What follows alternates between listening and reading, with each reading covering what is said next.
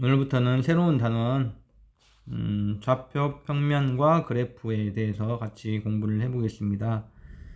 어, 해볼까요? 서현인의 가족은 지리산 둘레길, 둘레길 2코스를 걷다가 군화동에서 다음과 같은 안내편을 발견하였습니다. 지리산 둘레길 2코스에 있는 명소들의 위치를 어떻게 나타낼지 생각해 봅시다. 자, 군화동에서 인월 안내센터까지의 거리를 구해보자. 군화동이 여기죠? 여기서 인월 안내센터가 어디 있나요? 여기 있네요. 거리. 거리가 얼마입니까? 3km에 2km니까 5km가 되겠죠. 5km. 네, 5km가 되겠네요. 자, 군화동에서 여기서 오른쪽으로 3km 떨어져 있는 흥부 자연 휴양 위치를 흥북골 자연휴양림 위치를 여기죠. 여기를 플러스 3이라고 한다면 운봉읍의 위치를 나타내 보세요. 운봉읍은 여기를 기준으로 좌측에 있죠. 그러니까 마이너스가 될 것이고 방향이 그 다음에 1을 4니까 5가 되겠네요. 그래서 마이너스 5km로 나타낼 수 있겠네요. 뭐 어렵지 않죠? 자, 여기서 뭘 알 수 있어요? 수직선의 개념이 들어있죠. 수직선 우리가 예전에 배웠던 수직선 자 바로 나오네요. 수직선 위의 점의 위치를 어떻게 나타낼까? 자, 수직선 위의 점의 위치를 어떻게 나타낼까? 생각열기에서 군화동의 점, 군화동을 점 5라 하면 흥북골 자연휴양림은 그 다음에 A, 운봉읍 을 B라고 나타내면 이들의 위치를 다음과 같이 수직선 위에 나타낼 수 있다. 자, 이 5는 이 수직선의 기준점이란 점이 됩니다. 오리진, 오리진, O-R-I-G-I-N 오리진이라 해가지고 어, 기준이 된다 뭐 이런 뜻입니다. 위에 수직선에서 점 O, A, B에 대응하는 수는 각각 아까 여기 3이었고 그 다음에 여기는 0이고 여기는 마이너스 5죠. 이때 수직선 위에 점에 대응하는 그 수를 그 점의 좌표로 합니다. 좌표. 자, 좌표라는 용어가 새로 나왔습니다. 자, 좌표를 쓰는 방법은 좌표의 이름을 적어주고 P라는 점의 좌표, 그 다음에 거기에 위치를 적어줍니다. 위치 이렇게. 그래서 A라는 점의 좌표는 이름이 A고 위치는 3이 된다, 되는 거죠. 이렇게. 그 다음 5라는 점은 이름이 5고 그 다음에 위치가 0이 되는 거죠. 자, B, B점의 이름은 B고 좌표는 마이너스 5가 되는 거죠. 자, 이런 식으로 나타내 주는 걸 좌표라고 합니다. 자, 그러면 1번 한번 해볼까요? 여기는 어떻게 됩니까? 이름이 B고 마이너스 2분의 1 이렇게 하면 된가요? 마이너스 1을 절반으로 나눴기 때문에 그 다음 여기는 A고 좌표는 마이너스 4. 그 다음 여기는 점이 좌표 이름은 C고 좌표는 4 이렇게 되겠네요. 어렵지 않죠? 그래서 좌표라는 게 이제 새로 우리가 배울 내용이 됩니다. 자, 다음. 자, 그러면 이번에는 평면에도 좌표를 나타낼 수 있겠니? 이런 이야기를 하고 있어요. 물론 평면에도 좌표를 나타낼 수 있습니다. 지도상의 위치는 위도와 경도를 사용해서 실제로 나타내고 있죠. 위도 사회시간에 배웠을 거예요. 경도. 예를 들어 서울의 위치는 북위 37도, 동경 127도. 그래서 북위는 뭡니까? 위아래, 위아래. 그 다음 동경은 좌우를 나타내주죠. 어, 실제로 그래서 37n, 127e와 같이 이 n은 노스입니다. 노스. 북위. 그 다음에 e는 east입니다. east. 동경. 동쪽을 east로 하죠. 북쪽을 노스로 하고 이처럼 나타내 줍니다. 이와 같이 두 수의 순서를 정하여 짝지어 나타낸 쌍을 순서쌍이라고 합니다. 순서쌍. 순서쌍이라고 합니다. 새로운 용어들이 등장해요. 자, 이제 순서쌍을 이용하여 평면 위에 있는 점의 위치를 나타내는 방법에 대해서 알아봅시다. 아까는 수직선이 이렇게 하나였죠. 하나. 이걸 X축이라 고 합니다. 이번에는 수직선이 두 개가 등장합니다. Y축이랍니다. Y축. 여기 있네요. 자, 요것을 뭐라 해요? X축. 요거를 Y축이라 고 하고요. X축과 Y축과 만나는 점을 점 5라 합니다. 원점. 아까 배웠죠? 오리진. O-R-I-G 오리진 포인트를 합니다. 그래서 점 0이 아니고 5입니다. 자, 이때 가로의 선을 x축, 세로의 선을 y축, 그 다음에 x축과 y축을 통틀어 좌표축, 그 다음에 기준이 되는 것을 원점, 그 다음 이 자체를 좌표 평면이라 합니다. 좌표 평면. 어, 여기 나와 있네요. 오리진. 자, 그 다음에 조금 더 여러 가지 어, 용어들을 설명할 거예요. 자, 그림과 같이 좌표 평면 위에 한 점 P, 이거는 점의 이름이 되겠죠. P에서 X축에 수, 반듯한 요 수직이 되는 선을 내리고, 그 다음에 Y축에다도 수직이 되는 선을 내렸을 때, 이 X축하고 만나는 점을 A라 하고, Y축하고 만나는 점을 B라고 한다면, 자, 좌표는 이렇게 씁니다. 먼저 이름을 쓰고 좌표 이름이 P고, X를 항상 먼저 쓰는 겁니다. X의 좌표가 A고, y의 좌표가 b다. 자, 항시 이름을 쓰고 x축의 좌표를 앞에다 쓰고 그 다음 y축의 좌표를 뒤에다 씁니다. 이 순서를 뒤집으면 안 돼요. 이 순서는 어, 세계 공통입니다. 그래서 규칙이니까 우리는 규칙을 지켜야겠죠. 그래서 이 P점이 뭡니까? 좌표의 이름이 되는 거고 이 A가 바로 P점의 X좌표가 되는 거고 이 B가 P점의 Y좌표가 되는 겁니다. 특히 원점은 원점은 여기죠. x 좌표가 제로고 y 좌표가 제로인 점을 원점이랍니다. 자, 예를 들어볼까요? 자, A점 어떻게 돼요? A점. 자, A라는 점의 이름은 A고 자, 쭉 여기가 몇입니까? 1이죠. 그래서 X는 1. 그 다음에 Y축으로, Y축으로 반듯하게 가볼까요? 수직으로. 그럼 여기가 2죠. y축은 2 이렇게 된다. 2하고 만난다. 그래서 a점의 좌표는 1,2다 이렇게 말합니다.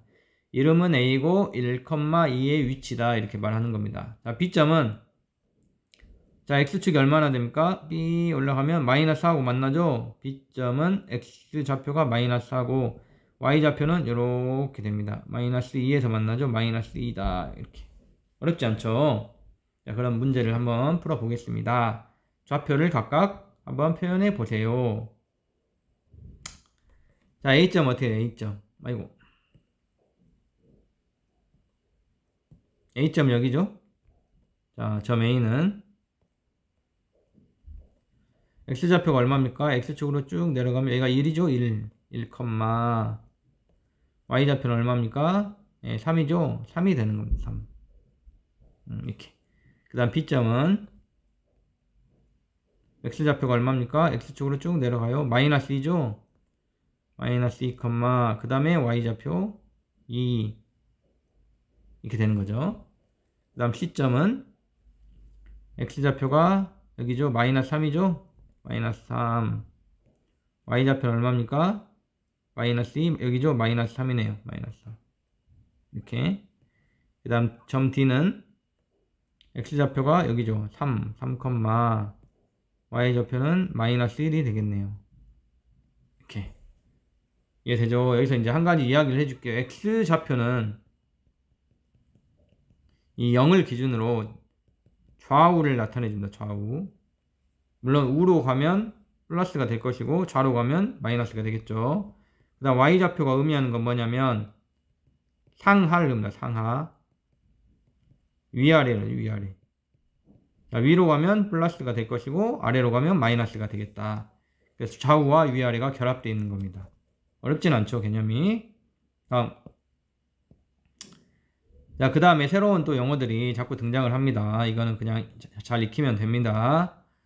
자, 이걸 X축이로 한다 했죠. 그 다음 이걸 Y축이로 한다 했습니다. 자, 이 면에 X축과 Y축을 그으면 면이 4개로 쪼개집니다. 그때 오른쪽 위에 있는 이거를 제1사 분면이랍니다. 그래서 이렇게 돌아갑니다. 시계 방향이 아니고 반시계 방향으로.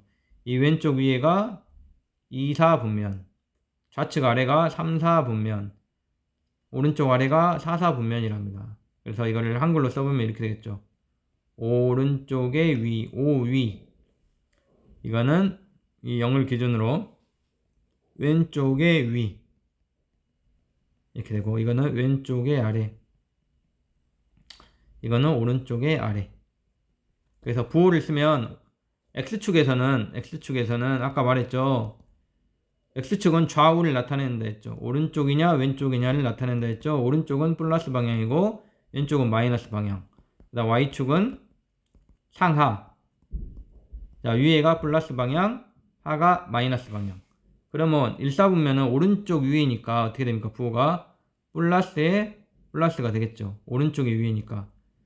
그 다음 2, 4분면은 왼쪽에 위에니까 마이너스에 플러스가 되겠죠. 자, 3, 4분면은 왼쪽에 아래니까 마이너스에 마이너스가 되겠죠. 4, 4분면은 오른쪽에 아래니까 플러스에 마이너스가 됩니다.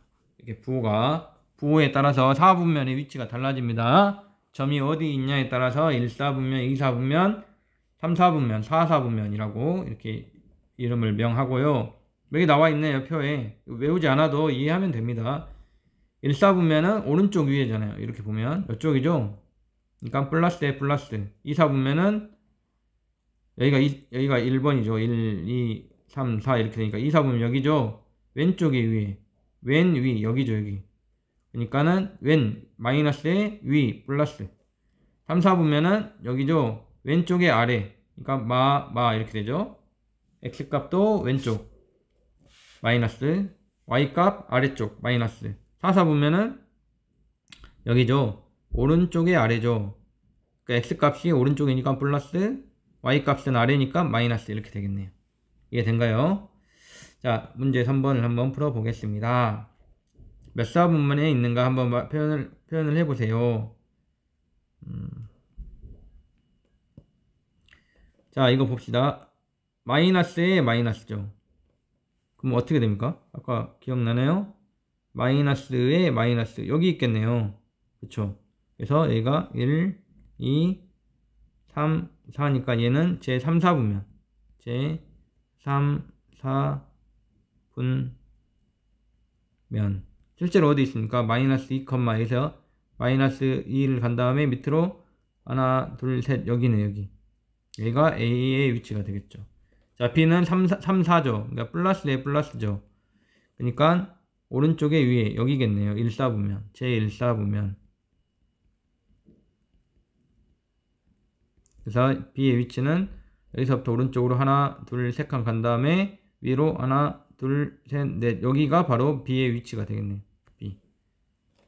자, C는 플러스에 마이너스죠. 자, 여기서 플러스에 마이너스니까 제 4, 4분면이 되겠네요. 자, 이동을 할 때는 X를 먼저 이동하고 그 다음 Y를 이동합니다. 자, 여기서부터 파란색으로 해볼까요? 자, 여기서부터 한 칸 오른쪽 간 다음에 그 다음에 밑으로 두 칸. 여기가 바로 C 지점이 되겠습니다. 자, D는 마이너스에 플러스죠.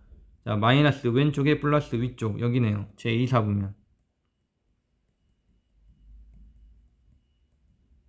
자, 그래서 여기서 출발해가지고 마이너스 4. 이제 왼쪽으로 4칸. 하나, 둘, 셋, 4칸 간 다음에 위로 한 칸. 여기가 바로 D 지점이 되겠습니다. D. 아, D. 이렇게. 이해되죠? 음. 자, 그 다음에 이제 요거, 요것도 중요한데요. 자, A, B하고 순서를 바꾼 B, A가 같겠니? 이걸 물어보고 있어요. 예를 들면 되죠. 1, 2하고 2, 1이 같겠니? 야, 그려보면 되죠. 그려보면. 여기다 그려볼까요? 1, 2는 어디에요? 자, X로 일단 1 간 다음에 위로 두 칸 가죠. 여기죠, 여기. 그쵸? 자, 2, 1은 어디입니까? 2컴마는 x로 두 칸을 간 다음에 위로 한 칸을 가죠. 여기죠. 다르죠? 이, 이 점의 위치가 다르죠. 그래서 이걸 뭐라 했습니까? 순서쌍이라 한다 했죠. 순서쌍에서는 순서가 중요하다는 겁니다. 그러니까 앞뒤를 바꾸면 안 돼요. 그래서 a, b와 b, a는 다릅니다. 달라요. 같을 수가 없어요. 물론 a 값, b 값이 같으면 a와 b 값이 같으면 예를 들어 1,1 뒤집어도 1,1이죠. 이거는 같겠지만 그렇지 않는 경우에는 A, B와 B, A는 가르, 점의 위치가 다릅니다. 그 순서상에서는 A, B를 바꿔버리면 안 돼요. 그래서 순서상은 순서가 참 중요하다. 음, 됐죠? 고생했습니다.